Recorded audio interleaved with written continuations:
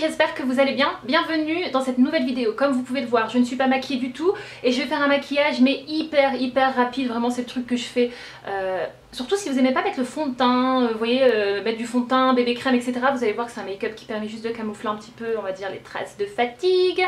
Voilà, donc avant de commencer les filles, avant de vous parler donc du sujet du jour, je tenais à remercier toutes les nouvelles, toutes les anciennes. Merci pour tous vos commentaires, merci pour, euh, voilà, pour, le, pour, vos, pour votre suivi, pour votre suivi, oui, pour le fait que vous suivez, vous me suivez dans mes aventures. Merci en tout cas pour, pour tous vos commentaires, comme je vous disais, vos messages, les interactions entre vous, etc.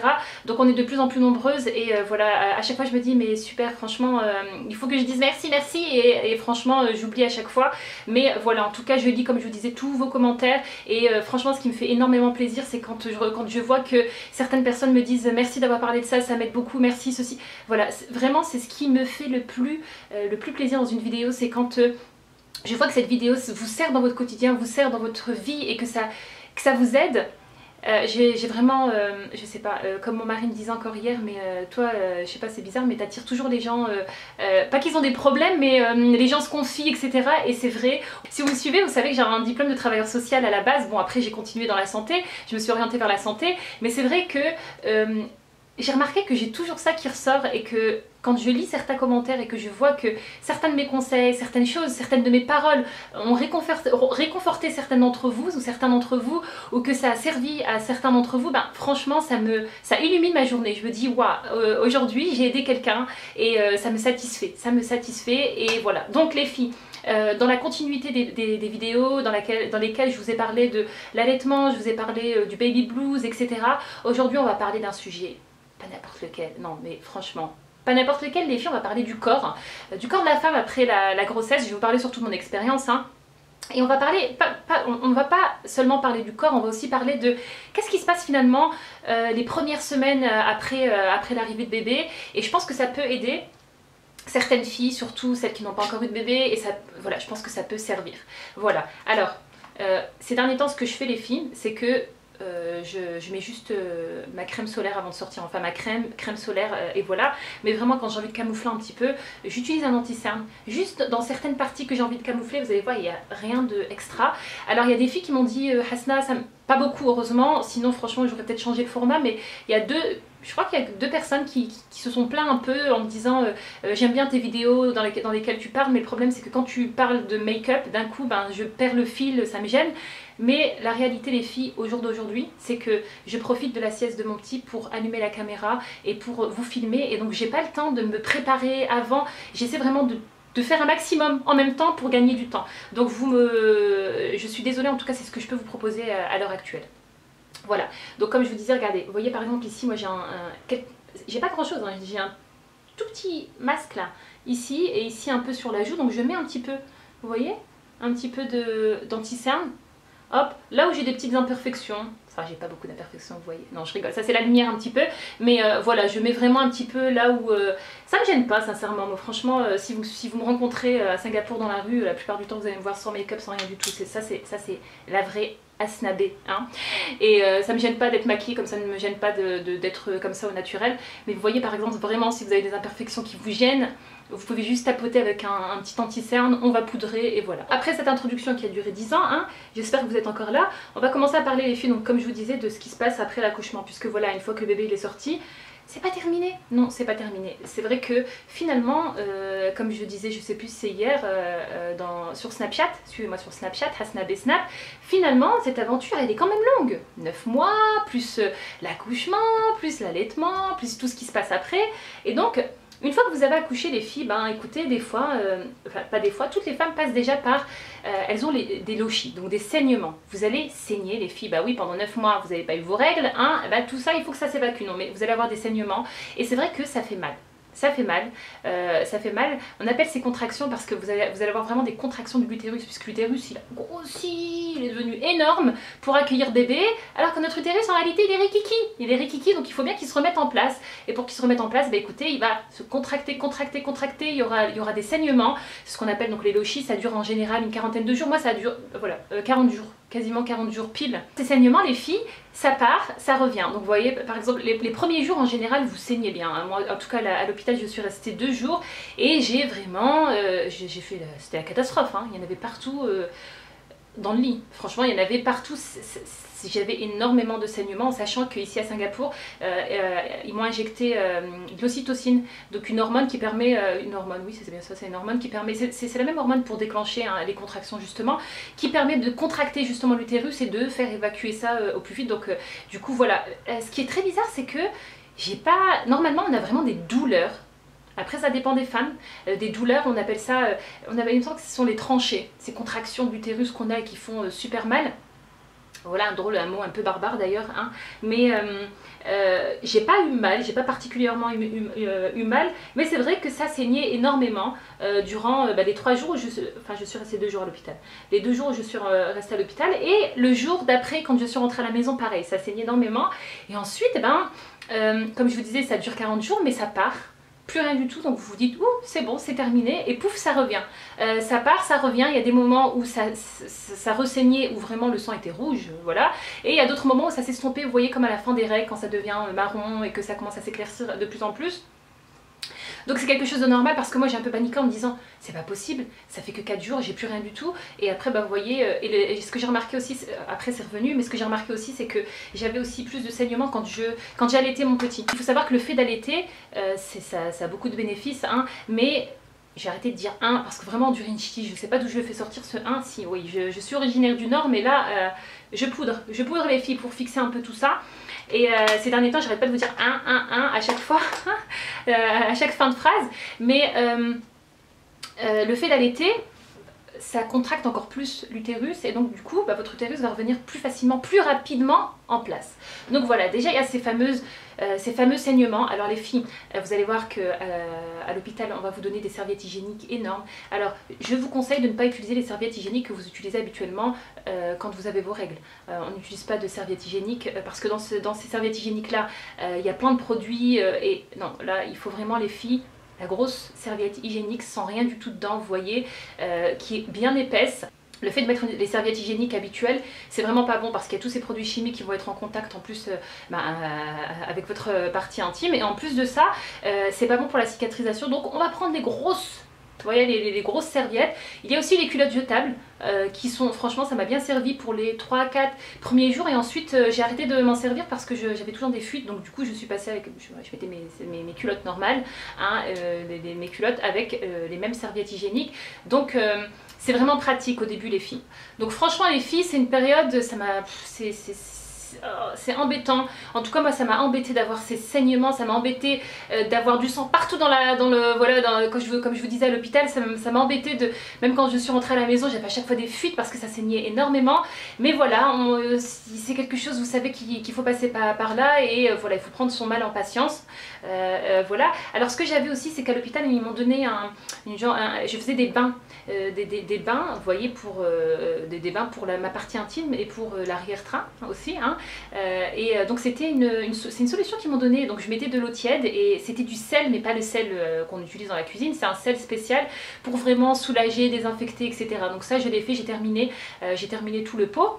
Alors je me souviens qu'à l'hôpital j'avais des douleurs, j'avais vraiment mal à la tête. Alors est-ce que c'est dû à la péridurale? Peut-être, mais j'avais des, migraines. Alors je, habituellement j'ai pas de migraine donc du coup c'est vrai que j'ai un peu flippé. Je me suis dit mais c'est pas possible, c'est quoi? C'est un effet secondaire de la, de la, la péridurale. Alors j'avais mal à la tête donc on m'a donné tout simplement euh, du Panadol, quelque chose comme ça euh, pour le mal de tête. J'avais mal au dos. J'avais mal au dos parce que euh, ben, sûrement la péridurale, voilà. Mais je, me souviens que donc j'étais sur le dos mais j'avais mal au dos.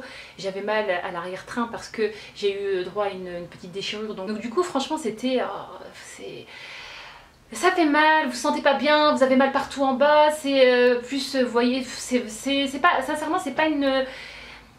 C'est une période... Euh, je, sais, je sais pas comment elles font les nanas qui reçoivent les personnes à l'hôpital et qui sont là en train de sourire, nana. Non, moi franchement, je suis bien contente à chaque fois d'être loin et de ne pas recevoir de visite ni quoi que ce soit parce que vraiment, je, je ne suis pas dans un état... moi, j'arrive pas à faire semblant. J'arrive pas à faire ça quand je suis pas bien, donc du coup c'est une période qui est un peu... Euh, qui voilà. Mais ça passe, ça passe. Ça, c'est ce qui est cool, c'est que ça passe. Ah, on va continuer les filles. Donc, vous voyez, Voilà, hop, je mets un tout petit blush.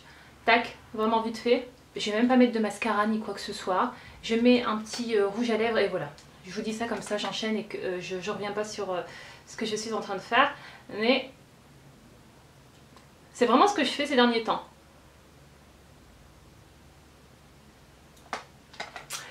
Voilà, et je vais juste faire un peu mes sourcils voilà. Ce qu'il faut aussi savoir, c'est que votre corps, en tout cas ça dépend des femmes, mais en règle générale, vous voyez votre ventre euh, était super grand, ça dépend encore euh, des femmes, puisqu'il y a des femmes qui ont des tout petits ventres. Moi par exemple, mes ventres ils sont catastrophiques. D'ailleurs, à chaque fois, euh, tout le monde me disait sur les photos Instagram, c'est sûr c'est un garçon parce que, ton ventre est vers l'avant, mais pour mes filles j'avais exactement le même ventre, vers l'avant. Voilà, ça dépend vraiment de votre morphologie. Donc du coup, c'est vrai que on n'est pas toutes pareilles parce que si votre ventre, vous voyez, est plus en, euh, largeur et, euh, voyez, on va dire proportionnel, ça va, mais quand il va vers l'avant, euh, ça peut engendrer des problèmes. Donc en tout cas pour ma part, par exemple, voilà, j'ai une diastase. Donc ça, je l'avais déjà pour, pour mes filles. donc en gros, une diastase, c'est quoi? C'est quand vos abdos vous voyez les abdos que vous avez ici devant, vont se séparer. Ils vont se séparer parce que, ben, tout simplement pour laisser la place pour, euh, voilà, parce que votre utérus devient euh, grand, votre bébé et tout ça. Et euh, donc, très souvent les femmes ont, ont une diastase, mais à partir d'un certain, certain écart, ça pose problème. Donc ça pose problème, par exemple pour ma part, j'avais deux doigts et demi pour euh, mes filles, donc euh, je me souviens que comment j'ai capté qu'il y avait un problème, c'est que euh, mon ventre était tout bizarre, une genre de boule devant, je sentais que je sais pas, comme si tous mes organes à l'intérieur n'étaient pas retenus, et effectivement donc été chez la gynécologue, et donc elle m'a checké avec les doigts etc, donc elle m'a dit voilà vous avez une diastase, elle m'a envoyé faire des séances de rééducation abdominale, voilà, après quand c'est vraiment vraiment écarté, malheureusement, il n'y a rien d'autre à faire que la chirurgie. C'est-à-dire qu'ils vont ouvrir et resserrer, coudre, recoudre.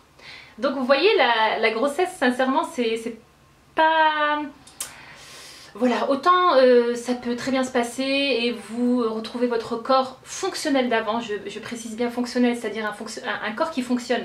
Je ne parle pas d'un point de vue esthétique, parce que esthétique, oui, il y a des femmes qui n'ont euh, aucune vergeture, rien du tout, comme il y a des femmes qui n'ont pas eu d'enfants et qui ont plein de vergetures, vous voyez, ça dépend, ça vous voyez, quand euh, vous perdez beaucoup de poids, vous reprenez, etc., ben, malheureusement c'est ce qu'on a, mais voilà, on ne sait jamais comment ça va se terminer, en tout cas pour mes filles, je vais vous parler du ventre. Euh, je me souviens qu'à l'hôpital j'avais un gros ventre, mais vraiment... Euh, mais quand je suis rentrée à la maison, au bout de 10 jours, j'avais 12 jours exactement, j'avais plus rien. Je vous assure que j'avais perdu les 20 kilos, quasiment 18 kilos que j'avais pris. J'avais pris 20 kilos, j'en ai perdu 18. J'ai repris 20 kilos pour euh, le petit, là, ici. donc pour celles euh, qui, ne sont pas au courant, mais je pense que maintenant vous êtes au courant, c'est vrai, qu'à chaque fois je vous ai parlé du bébé, mais je vous ai jamais dit le prénom et vous avez été nombreuses à me dire c'est quoi le prénom, mais comme je vous ai donné l'information sur Instagram quand, euh, quand j'ai accouché, donc du coup euh, voilà.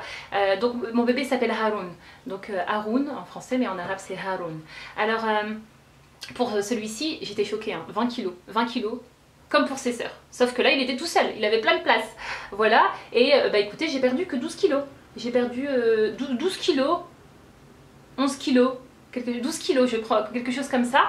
Et alors donc, euh, voilà, c'est vrai que je me suis dit, ah, bah mince alors, c'était pas comme pour sœurs, euh, je pensais que j'allais tout perdre, mais non. Donc vous voyez, vous savez jamais comment ça va se passer. Et alors le ventre, c'est vrai qu'il ressemble un peu, c'est pas qu'il ressemble à rien, mais en tout cas moi, quand je suis rentrée à la maison, je vous assure que j'ai des copines qui m'ont dit, euh, mon ventre il était énorme, hein, vraiment, comme si j'étais enceinte de 5-6 mois il était vraiment encore très grand, sauf que le bébé il est à l'extérieur. D'ailleurs, ma fille, euh, je sais plus, c'est Malia Mourania, elle m'a dit Maman, t'as encore, le bébé dans le... as encore un bébé dans le ventre? Et je lui ai dit Non, le bébé il est là, mais euh, voilà, il faut que ça dégonfle. Euh, voilà, la vérité sort de la bouche des enfants. Mais on m'a fait la remarque, je vous assure qu'on m'a fait la remarque, et d'ailleurs, ça m'a choqué c'est des copines, euh, vraiment, euh, euh moi c'est difficile hein, de dire ami, je suis quelqu'un de très, euh, je fais attention aux mots que, j'emploie, mais ce sont de très bonnes, très très bonnes copines, et c'est vrai que je vous assure, mon ventre il était énorme, et quand elle me voit, elle me dit, ouh, Hassina, ton ventre. Et ça m'a quand même un peu choqué parce que je me suis dit, mais merde, franchement, non mais c'est après, hein, quand je parlais avec mon mari, je dis, mais c'est dingue, parce que les femmes, en gros, tu dois sortir de l'hôpital et être comme si tu n'avais rien eu du tout. Non mais faut arrêter. Déjà, est-ce qu'on fait une remarque sur, à, une personne Je viens d'accoucher, et il y a deux jours, il y a deux jours mon bébé est sorti. Donc euh, voilà, j'ai pris 20 kilos. j'ai pas besoin que tu me dises que j'ai un gros ventre. J'ai vu que j'avais un gros ventre qui est énorme, qu'on dirait que je suis à 6 mois, euh, voilà, euh, ok. Et pareil, on m'a aussi fait une remarque, ça m'a un peu étonné. Ah, mais t'as une petite marque ici du masque. Je vois mon visage tous les jours, hein. oui j'ai une petite marque. Est-ce que moi je te dis ce que je vois sur ton visage ou tes défauts ou non? Mais je veux dire, c'est... des fois c'est sans méchanceté, sincèrement, mais il faut arrêter. Purée, mais laissez les femmes tranquilles Franchement, euh, comme je vous disais, c'est bon quoi. On, sait très bien, oui, euh, quand vous êtes mince, on vous dit vous êtes trop mince. Quand vous n'avez vous avez pas perdu tout le poids de, votre grossesse, on vous dit ah mais euh, t'as pris du poids? Oui, oui, j'ai pris du poids. sur Instagram aussi, on me l'a beaucoup dit, mais, mais gentiment, Hassan, t'as pris des kilos? Oui, j'ai pris 20 kilos. Je vous avais mis la dernière fois dans, dans un post plus 18, plus 18, plus 18 kilos. Donc oui, j'ai pris du poids, je viens de donner euh, vie à un bébé, euh, voilà. Et même supposons si vous ne perdez pas ce poids, c'est dingue parce que même dans la grossesse, vous voyez, même une fois que vous avez... En gros, quand vous êtes enceinte, ça va, ça va. C'est accepté que vous soyez en surpoids, que vous soyez ronde, que vous ayez des grandes formes, voilà. Il n'y a pas de problème parce que vous êtes enceinte. Mais une fois que vous avez accouché, mesdames, non. Non, non, il faut, il faut retrouver la ligne parce que sinon, ça, ça le fait pas les filles. Non, non, sincèrement, attendez, vous avez vu là les, euh, les stars, etc. là qui sont... Euh, euh, qui, qui, qui, accouchent et qui, quelques jours après, elles sont... c'est comme ça qu'il faut être. Non, je, je, plaisante, mais voilà, c'était juste pour... voilà, franchement... Il faut... Je rentre dans aucun de mes pantalons, je vous assure, quasiment quasiment, aucun de mes pantalons. mon ventre, oui, c'est bon, il a bien dégonflé, etc. Je voulais vous le montrer là, mais je suis pas habillée en bas. Vous voyez, donc ça, vous voyez? Attendez, est-ce que si je serre comme ça? Parce que, bon, comme j'ai mis du blanc, on va pas bien voir. C'est bien dégonflé. C'est bien dégonflé, mais mon ventre n'est pas comme avant. Et mon ventre n'est jamais... Euh, si, si, vous me suivez depuis longtemps, euh, vous avez vu, euh, je sais pas moi, mes lookbooks, etc. J'ai une taille naturellement hyper, hyper... J'ai un ventre hyper, hyper, hyper, hyper fin. Même après avoir eu mes filles, j'avais un ventre hyper fin, mais c'était pas mon ventre d'avant. J'ai jamais retrouvé mon ventre d'avant parce que comme je vous disais, un, j'ai eu cette diastase, donc mon ventre il est un peu, voilà, il est pas, il est plus comme avant. En plus de ça, les vergetures, en plus de ça, la peau, euh, le surplus de peau, puisque oui, quand la peau s'étire, s'étire, s'étire, surtout vers l'avant, ben, au bout d'un moment, il y, a, il y a de la peau là, il y a un surplus de peau, c'est comme les personnes qui perdent énormément de poids. Donc non, je n'ai jamais retrouvé mon corps d'avant, mais euh, je crois qu'au bout d'un moment, des fois, il faut faire le deuil. Il faut faire le deuil de son corps d'avant. Attention, il y a des femmes qui n'ont aucune... Ma mère, elle n'a pas de vergeture dans son ventre, elle a eu 7 enfants. Euh, donc ça dépend vraiment des personnes. Ça dépend de... Moi, j'ai eu les vergetures euh, donc, lors de ma première grossesse à 35 semaines. Je me souviens que j'étais hospitalisée, j'avais un ventre énorme. Et à chaque fois qu'on me faisait des monitorings, c'est-à-dire 4, 5, 6 fois dans la journée, on me disait « Waouh, madame, mais vous avez aucune vergeture. » J'avais un ventre, mais les filles, c'était... j'ai c'était tellement une grossesse euh, stressante que j'ai pas pris de photos. J'ai des photos mais vous voyez avec mon ventre découvert. Donc je peux pas vous montrer euh, mon ventre découvert mais j'ai déjà montré à des copines proches ou même à ma famille. Euh, de toute façon ils m'ont vu. c'était inhumain. Sincèrement c'était flippant.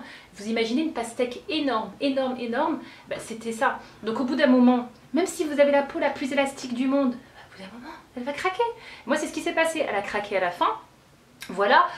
franchement je trouve ça normal, je me suis hydratée, etc. Bien sûr, je vous dis pas de, ne pas, il faut vous hydrater la peau, etc. Parce que, bon, déjà pour, prévenir, éviter les, les, les, vergetures, mais aussi pour votre confort. Parce que moi, ma peau, elle me grattait, ça me tirait tellement. Donc j'ai l'hydratais à chaque fois. Mais au bout d'un moment, on peut pas demander à un corps de faire plus que euh, ce qu'il peut supporter. Et euh, voilà, moi je suis partie vraiment... Euh, c'était vraiment un enfer, sincèrement. C'était un, enfer, j'avais un ventre... c'était l'horreur. Franchement, je pleurais à chaque fois. Je pouvais, même les vêtements, je ne pouvais pas rentrer en contact avec mon ventre quand ça frottait, tellement ma peau était tirée au maximum. Euh, voilà. Donc oui, ces fameuses vergetures, euh, bien sûr qu'on peut avoir au niveau de la poitrine, qu'on peut avoir au niveau des seins, etc. Donc hydratez-vous bien la peau, euh, les filles. Après, il faut moi j'ai pas fait attention, je, sincèrement je suis une bonne mangeuse, je, suis une grosse mangeuse, je, suis une grande gourmande. J'aurais peut-être dû faire attention un petit peu mais voilà j'ai pas fait attention sincèrement du tout. Mais euh, je me suis bien, euh, voilà je suis quelqu'un, j'aime bien manger, voilà j'aime bien manger, ça se voit pas, oui mais ça se voit pas, si maintenant ça se voit un peu plus, mais euh, ça se voyait pas du tout. Mais voilà. Et donc du coup c'est vrai que peut-être que il faut faire attention. Si, le truc c'est que moi durant pendant toute la grossesse, le gynécologue me, à chaque fois me félicitait quand je prenais du poids. Euh, me, félicitait parce qu'il me disait quand même vous êtes très fine, vous êtes très fine. Sauf qu'à la fin j'ai 20 kg, 20 kg c'est quand même beaucoup hein, je trouve pour, euh, pour un bébé. Mais étant donné que j'avais pas de diabète, pas de problème ni quoi que ce soit de santé, ça allait. Parce que bien sûr si vous avez du diabète ou ce genre de choses pendant la grossesse, on va vous surveiller. On va vous surveiller et vous allez devoir faire attention au poids. Voilà, donc euh, bien sûr hydratez-vous, etc. Mais voilà, il faut s'attendre à peut-être avoir les filles des vergetures. Je suis en train, je cherche un, euh, voilà, je voulais vous parler de quelque chose. Voilà, donc c'est une photographe américaine qui s'appelle Jade Bill. Je ne sais pas si je la prononce bien, Jade B-E-A-2-L. Euh, donc qui a fait des, des photos magnifiques de maman des mamans.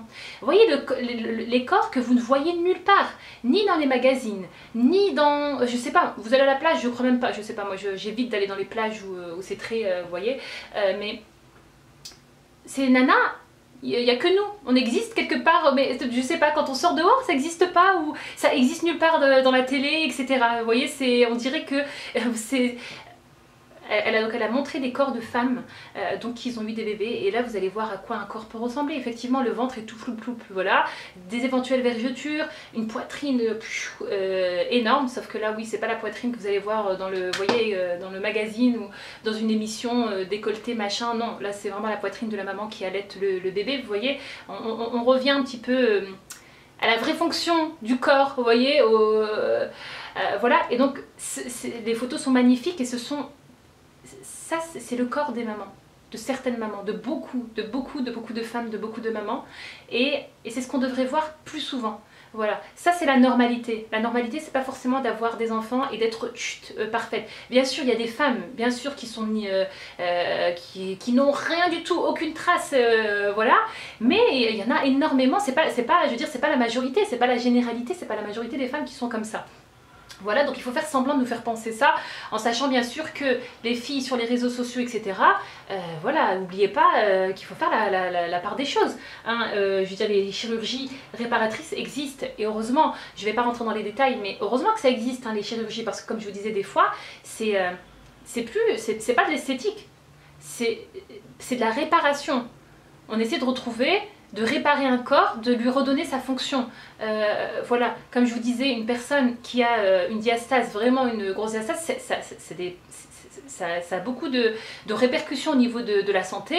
Et là, euh, on n'est pas en train de se dire, bon, on va faire la petite chirurgie pour lifter la peau, etc. Non, on est là, il faut refermer tout ça pour que les, organes qui sont à l'intérieur soient, retenus par, par les abdos qui sont là à la base, vous voyez donc je suis pas contre moi la chirurgie euh, esthétique, etc.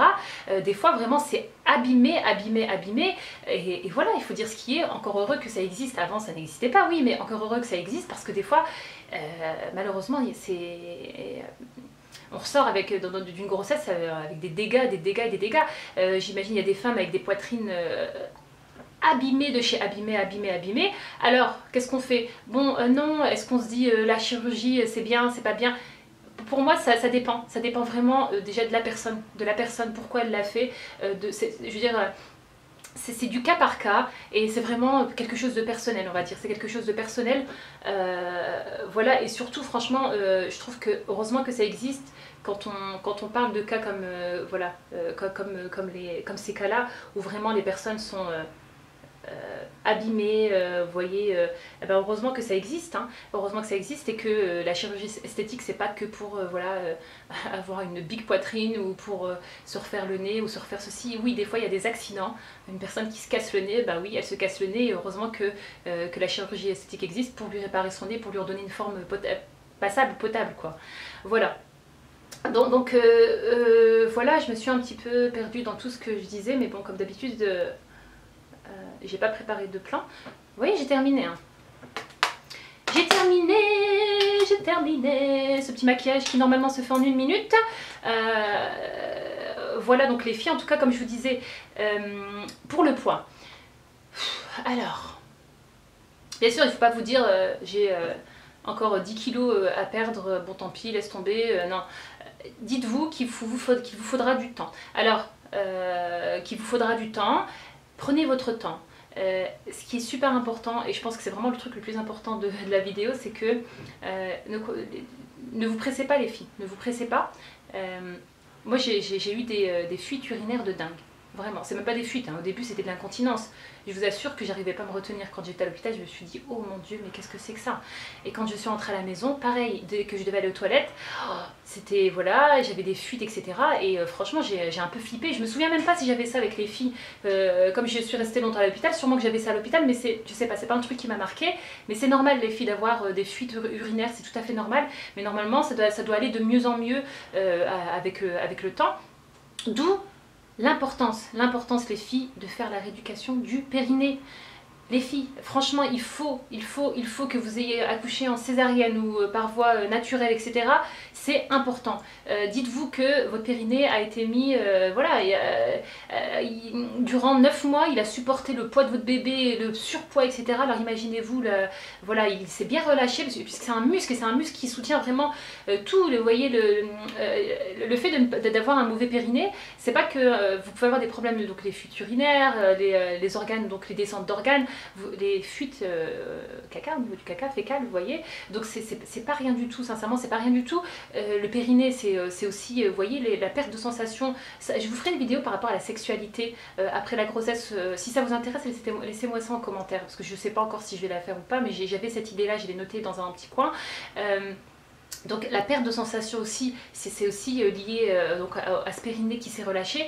Donc le périnée, les filles, c'est important. Alors, pas d'abdos, pas de... D'ailleurs, les abdos, je vais vous dire quelque chose. Moi, ça fait...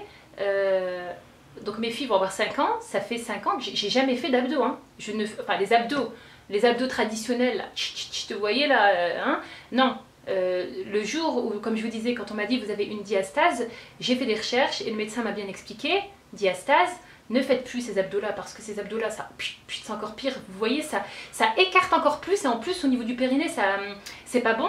Euh, donc euh, moi je, faisais des abdos hypopressifs c'est à dire ces exercices là qui permettent de euh, justement d'essayer de, fermer ce, cet espace vous voyez. Et voilà. Donc faites attention, sincèrement faites attention, ne vous dites pas oh là j'ai accouché, punaise j'ai des kilos, oh là il faut que je vais aller faire du sport, ceci, cela, non, laissez-vous, voilà, il faut du temps.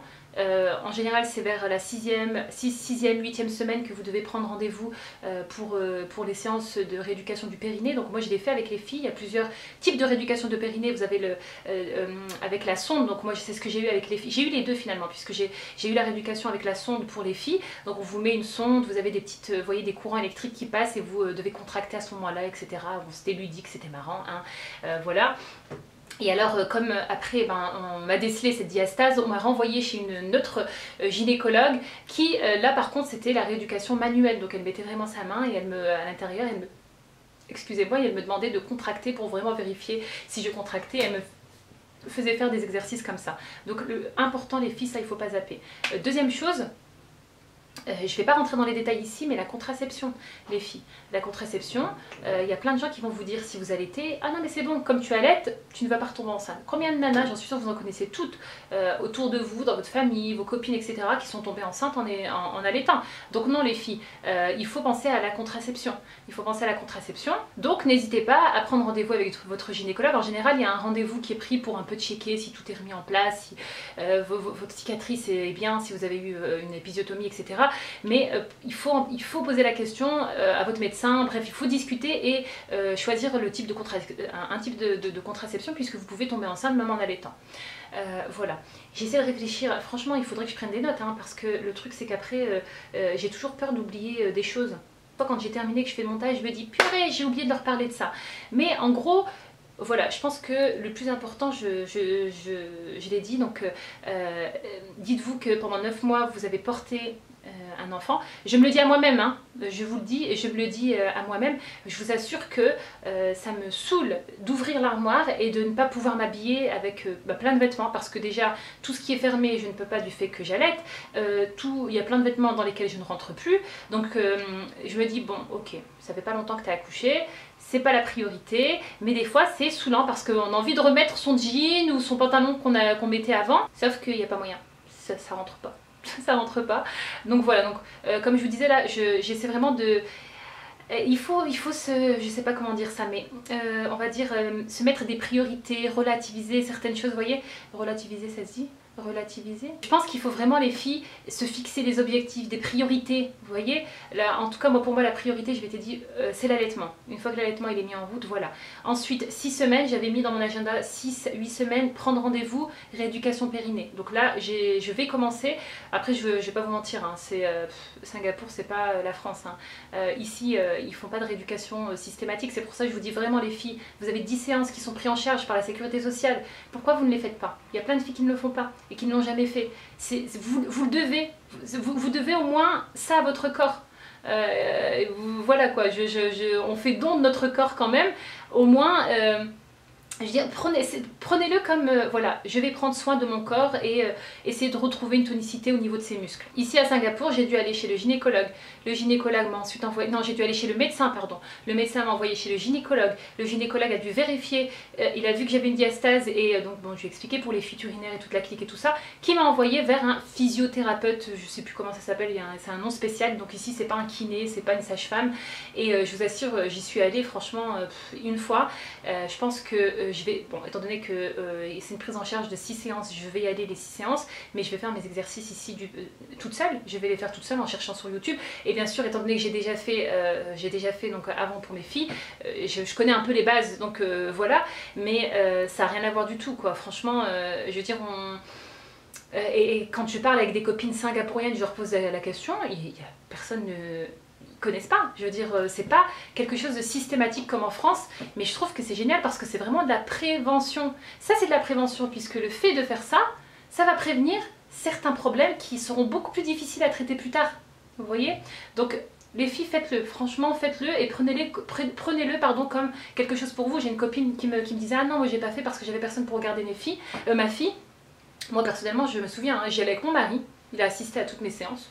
Euh, sauf, euh, il, a, assisté aux premières séances euh, donc avec la sonde. Par contre, manuel, non, puisque j'y allais en journée. Mais l'autre, on y allait à chaque fois après le, après le travail, quand il revenait, parce que j'avais les filles avec les maxi et tout. C'était le médecin était un peu loin. Et donc, j'y allais avec mon mari et mes filles elles étaient dans leur maxi et voilà c'était mon temps à moi il fallait pour moi c'était pas c'est pas du luxe c'est voilà euh, j'ai un problème, il faut que euh, je, il faut réparer tout ça. Et euh, d'où, donc comme je vous disais, finalement, on doit essayer d'avoir un corps qui est fonctionnel. Retrouver un corps fonctionnel, qui refonctionne. C'est-à-dire un périnée tonique, comme du béton. non pas, là c'est clair que pour le coup le périnée on voit pas, c'est pas quelque chose d'esthétique, c'est à l'intérieur, c'est, vous voyez les fuites urinaires, on va pas les vérifier si vous avez une fuite, vous voyez ce que je veux dire? C'est quelque chose qui ne se voit pas, mais c'est quand même, c'est important c'est même plus important que l'esthétique, que, le, que, voilà, parce que je pense que les personnes qui ont vraiment des problèmes à ce niveau-là, je vous assure que euh, se soucie plus du ventre comment il est ou de ceci ou de cela. Là, on a envie d'avoir juste un corps qui fonctionne. Voilà, euh, donc voilà les filles. Alors, comme je vous disais, donc dans un premier temps, voilà, il faut pas trop stresser. Alors, autre chose, euh, avant que j'oublie, c'est la perte des cheveux. Donc, la perte de cheveux, moi, en général, j'ai ça quand j'arrête l'allaitement, puisque euh, si vous allaitez, ça, voilà, c'est pas encore, euh, voyez, c'est, ça dépend des femmes encore une fois, mais vous allez perdre énormément de cheveux, tous les cheveux que vous n'avez pas perdus pendant la grossesse. Donc énormément, euh, hein. il y a des femmes qui perdent, c'est hallucinant, vous vous dites mon dieu il n'y aura plus rien sur ma tête, mais c'est quelque chose de normal. Bien sûr, après vous pouvez consulter, un médecin, franchement, vous pouvez consulter un, médecin peut-être pour avoir des suppléments, vérifier aussi si vous n'avez pas de, de, carence, etc. Mais euh, je veux dire, on perd les cheveux une fois qu'on a, euh, qu'on a, qu'on a le bébé. Euh, la peau aussi, donc vous avez eu une super belle peau quand vous étiez enceinte, plus, de boutons si par exemple vous aviez des boutons ou ce genre de choses, une peau nickel, etc. Bah, c'est les hormones tout ça, maintenant il n'y a plus toutes ces hormones, ben voilà, des fois on, peut se retrouver avec une peau plus très jolie. c'est pas le moment aussi des filles de, de, faire un régime, surtout si vous alimentez si vous allaitez le, le bébé, le, truc c'est ne pas faire un régime mais plutôt de manger équilibré. Bien sûr je ne suis pas un exemple donc ne me demandez pas de faire, euh, c'est pour ça d'ailleurs que je refuse à chaque fois de faire les vidéos euh, qu'est-ce que tu manges etc parce que je suis loin d'être un exemple vraiment, euh, vraiment. Autant je fais très attention pour mes filles, j'essaie de faire très attention la semaine, le week-end c'est pas grave mais pour moi franchement je, suis, je suis, une gourmande, je, je, suis trop gourmande donc du coup non franchement je ne fais pas attention, je mange J'essaie quand même de manger des légumes, etc., machin et tout ça, mais je, mange bien, je mange bien et pas forcément sainement. Et le problème, c'est que j'aime bien le sucré et le salé. Euh, voilà, donc, euh, en tout cas, si vous allez essayer vraiment de manger équilibré. Et je vais aussi essayer. Allez les filles, il faut qu'on le fasse. Et donc du coup ça m'amène aussi à un autre point parce que quand je vous ai dit les fruits et légumes, il y a quelque chose qui, qui m'est revenu euh, à l'esprit, ce sont les hémorroïdes. Il y a des femmes qui ont des hémorroïdes pendant euh, la grossesse, il y a des femmes qui en ont après. Parce que oui, quand on pousse, on pousse, on pousse, on pousse, eh ben, des fois il y a des hémorroïdes, euh, ça peut sortir, ça peut saigner, ça peut faire très mal. Donc moi j'ai eu des hémorroïdes, je pensais en avoir durant ma grossesse et finalement j'en avais pas. Quand le médecin a vérifié, j'en avais pas.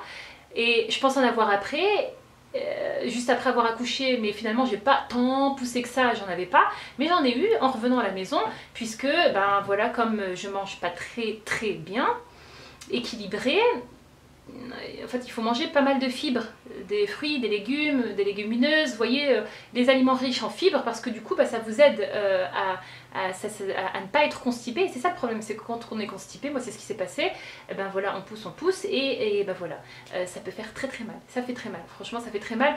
Donc c'est pour ça que, euh, comme je vous disais, voilà, c'est c'est pas si simple que ça. À l'hôpital, j'avais euh, un, médicament que j'ai arrêté directement. Donc pendant euh, les 3, jours, on m'a donné donc un médicament que je devais prendre à chaque repas, avant chaque repas. Et donc c'était un, médicament qui rendait mes selles, désolé, hein, on est en train de parler de ça, hein, les filles, euh, qui me rendait les selles c'était mou, c'était vraiment mou, donc du coup j'avais pas besoin de pousser ni quoi que ce soit. Et alors pourquoi on m'avait donné ça? Tout simplement parce que quand vous avez été euh, recousu, quand vous avez une épisotomie, il faut éviter d'être constipé parce que, euh, bah, écoutez, la cicatrice elle est encore toute fraîche, il y a encore les fils, etc. Donc du coup, ça m'a bien aidé. Et ensuite quand je suis rentrée à la maison, bah, j'ai arrêté euh, et j'ai essayé de manger quand même équilibré, ça allait. Mais là dernièrement, c'est vrai que j'ai tendance à être constipée, donc du coup c'est pas bon. La cicatrice c'est bon, hein, c'est cicatrisé, j'ai plus de douleur, etc. et tout.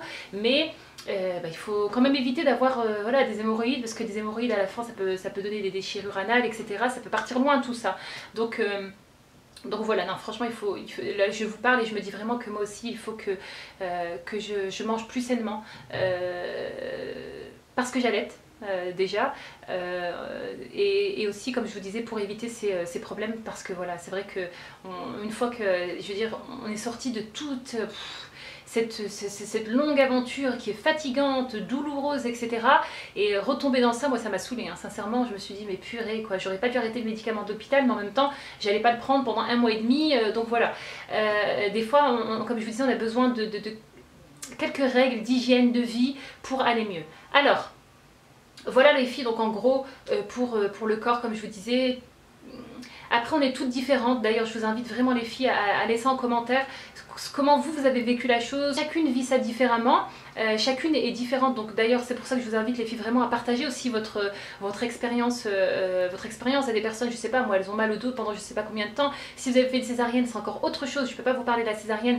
D'ailleurs si vous avez fait une césarienne, n'hésitez pas à laisser ça en commentaire, mais j'imagine que c'est encore autre chose. Que là il y a une, plus grande cicatrice, euh, voilà, je veux dire, chacune vit les choses différemment, on n'a pas toutes le même accouchement. Si on a utilisé des forceps pour faire sortir votre bébé, imaginez-vous bien que euh, les douleurs seront, vous aurez plus de douleurs, euh, ça dépend vraiment, ça dépend. Et je vous invite vraiment les filles à laisser ça en commentaire, à, voilà, comme d'habitude à discuter entre vous, à, vous lire entre vous, euh, parce que j'ai vu que voilà, il y a des filles, ce qui est super sympa, c'est qu'il y a des filles qui se conseillent mutuellement et tout ça, donc franchement c'est génial, il y a des personnes des fois qui répondent à ma place, et, merci, parce que je ne, je ne, suis pas H24 devant l'ordinateur, donc du coup, bah, c'est vrai que des fois ça me, ça me, fait trop plaisir quand je vois, je sais pas, quelqu'un qui pose une question sur moi par exemple, je sais pas où est-ce que tu as accouché ou comment ceci, cela, et que une personne qui a déjà vu une vidéo, qui connaît l'information répond, ben ça me fait plaisir. Conclure les filles euh, sur euh, la même idée que euh, par rapport à l'allaitement, en fait finalement ça revient toujours, c'est que il y a d'un côté la réalité et notre réalité, ce qu'on vit, etc. Et de l'autre côté on a l'idéal, euh, ce que la société attend de nous, ce que euh, la définition qu'on a donnée de la femme, vous voyez. Donc euh, oui, après l'accouchement, il faut être souriante, épanouie, bien dans son corps, bien dans sa tête, mince, tout ce que vous voulez. Non, non, non. Non comparer. Il ne faut pas se comparer parce qu'on est toutes différentes. Je crois que c'est vraiment le mot de la fin, c'est la comparaison. Ne vous dites pas, purée, mais c'est pas possible celle-là, comment elle a fait?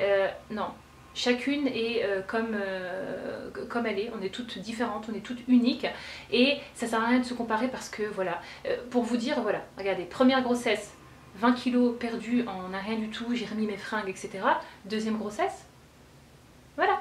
Ah oui, et la dernière chose, Désolée, la vidéo est vraiment brouillon les filles, désolée, désolée. Mais la poitrine, moi je vais pas vous mentir, hein, j'ai une poitrine énorme comme ça et une qui est un peu plus, plus petite.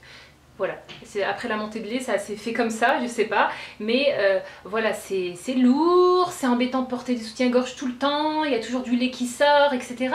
Mais encore une fois, comme je vous disais, tout ça, ça fait partie du corps euh, de la femme après la grossesse. Surtout si vous avez choisi d'allaiter, si vous avez fait le choix d'allaiter, ben euh, voilà, c'est comme ça. Et il faut vous dire que oui, un jour, ben, ça va sûrement dégonfler, certainement. Hein. je veux dire, on ne garde pas une poitrine pleine de lait et euh, voilà, donc du coup, ce sont, des choses, ce sont des choses auxquelles il faut être préparé et se dire que oui, voilà, et, que finalement, sincèrement, je, moi, quand je regarde des, fois, oui, je, vous assure que quand je dois sortir et que je me dis mais mince, qu'est-ce que, que je me mets? Je, je, rentre dans rien, j'essaye un pantalon, ça va pas, j'essaye le deuxième, ça va pas. Des fois, ça me saoule. Mais quand je prends mon petit, quand je le vois, ça me...